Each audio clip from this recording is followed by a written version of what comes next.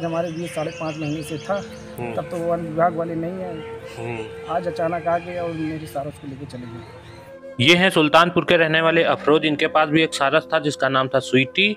और आरिफ और सारस की कहानी के बाद ये भी वायरल हुए थे लेकिन वन विभाग की टीम ने इनके सारस को भी उठा लिया है और ये कैमरे के सामने आके लोगों से मदद मांग रहे हैं।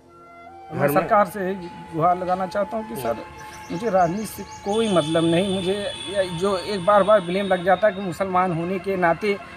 अफरोज ने काफ़ी धैर्य का परिचय देते हुए यहाँ तक कहा कि वन विभाग का कुछ कानून है कुछ नियम है उसके तहत वो मेरा सारस ले गए हैं लेकिन मुझे दिक्कत इस बात की है क्योंकि वो अभी उड़ नहीं पाता था। मुझको छोटा था तभी मिला था तो कृपया मेरी मांग पे ध्यान दिया जाए और सारस हो सके तो मुझे वापस कर दिया जाए। जब उड़ने वाला हो जाए तब उसको चाहे जहाँ ले जाए। अफरोज का ये कहना कहाँ तक उचित है कृपया कमेंट में बताएँ। मेरा भी सारस गया है। और बार बार जो इसको धर्म के नाम दिया क्योंकि वन विभाग का कुछ नियम है कुछ कानून है उसके तहत वो अपना काम किया।